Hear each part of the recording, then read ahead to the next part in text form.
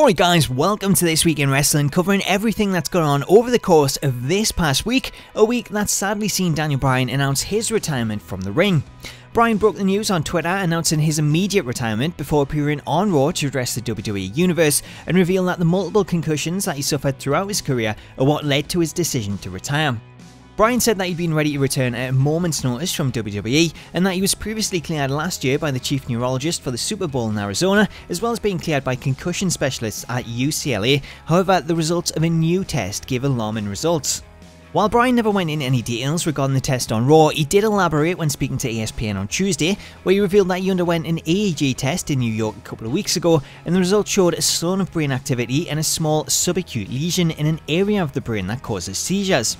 Following that, Bryan also revealed that he does have a past history of suffering post-concussion seizures, which he had kept hidden throughout his career, although he always made a point of informing doctors, including the ones that cleared him last year, and WWE's own medical team. Obviously, with this news and the fact that the EEG found the cause, then it's no doubt Bryan made the decision to retire and accept that there was a problem, but the important thing here is that they did find the cause, and while he may not be healthy enough to wrestle, he is healthy.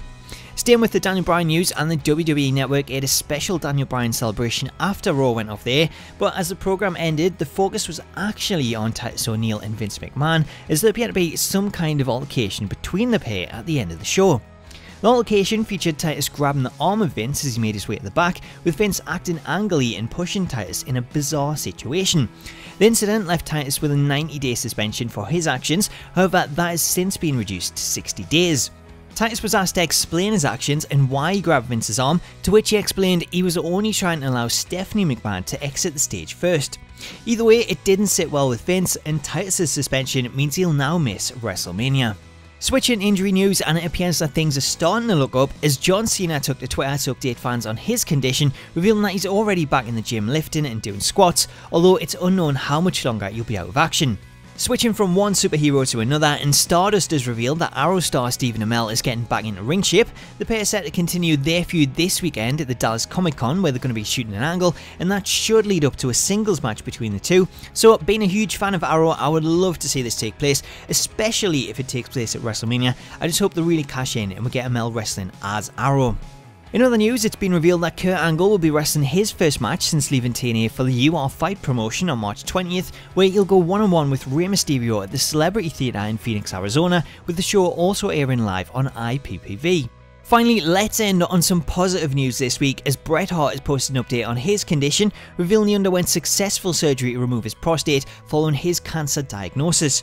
The Hitman posted the following update on Facebook, writing, Surgery's over and on the long road to recovery. I want to thank Dr. Hyndman and the nursing staff at Rocky View Hospital for an outstanding job. I also want to thank my family, friends, and fans for all your love and support. Things are looking up and I should be home in the next couple of days. In the words of Vince McMahon, it's onwards and upwards. So guys, that brings us to the end of this week in wrestling. Let me know your thoughts on all of this week's stories in the comments. Have a lovely Valentine's weekend, and until next time, I'll catch you later.